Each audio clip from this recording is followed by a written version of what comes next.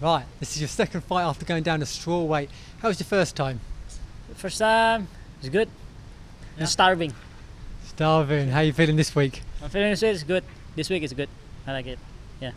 Obviously, last time you fought at home. This time you're fighting away from home. Yeah. What are the big differences there? Uh, the biggest difference only the crowd. Yeah, the big difference only the crowd because this is hometown. So, um, yeah, there will be different about the crowd cheering up my my fight. You know, like but yeah, this is fight game. So no matter what happen, you need to keep doing that, keep moving forward. You know, so yeah. How do you enjoy that challenge of going in and fighting someone in their backyard against them and all the fans? Uh, I think uh, I'm really, really honored to doing that in uh, his hometown. So, yeah, let's just keep doing that, you know. But the important thing, I'm really, really honored to doing this in here in Manila. Yeah. What are your thoughts on Rene Catalan as an opponent? Uh, my opponent is uh, well-rounded. I saw he's a well-rounded fighter, and then I saw uh, he's a good uh, striking and then good ground game. Yeah, but I believe with my hard work, hope so. Uh, my hard work will be a good result for me. Yeah. What do you need to do well to stay unbeaten? Uh, what is that? Come again? What do you need to do well to stay unbeaten? Uh, just keep working hard. That's the key. This is your third fight already in 2018. Yeah. Are you a fighter that likes to stay active? Do you want to have a few more fights this year?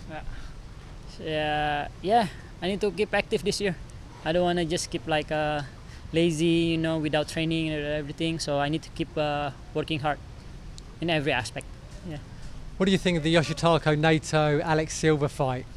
Uh, for me, that's an epic fight. You know, epic, uh, epic match. I like and then I like to see uh, both of them uh, do the grappling exchange. You know, and then yeah, it's good. They all good skill. A win here.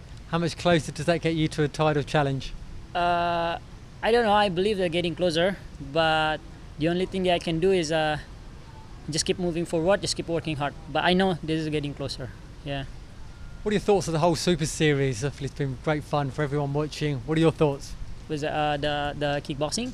Yeah, the kickboxing, the Muay Thai. Oh, I think that's a good, good, uh, good bout, you know, and then good uh, card about the kickboxing and then Muay Thai because uh, we can see only, only in one championship we can we can see the biggest, you know, the biggest uh, show in the world. I think with the MMA, they combine MMA and then kickboxing or Muay Thai, and then include they always uh, put some like a Muay Thai legend and then kickboxing superstar and then man that's awesome. That's awesome. It's really good.